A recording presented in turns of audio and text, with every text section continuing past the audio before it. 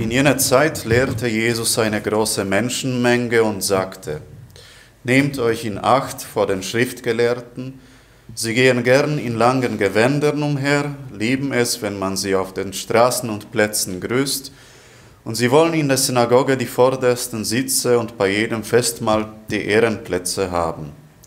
Sie bringen die Witwen um ihre Häuser und verrichten in ihrer Scheinheiligkeit lange Gebete. Aber umso härter wird das Urteil sein, das sie erwartet.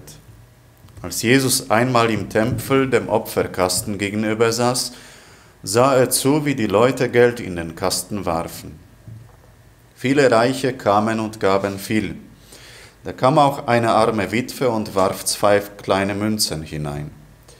Er rief seine Jünger zu sich und sagte, Amen, ich sage euch, diese arme Witwe hat mehr in den Opferkasten hineingeworfen als alle anderen. Denn sie alle haben nur etwas von ihrem Überfluss gegeben. Diese Frau aber, die kaum das Nötigste zum Leben hat, sie hat alles gegeben, was sie besaß, ihren ganzen Lebensunterhalt.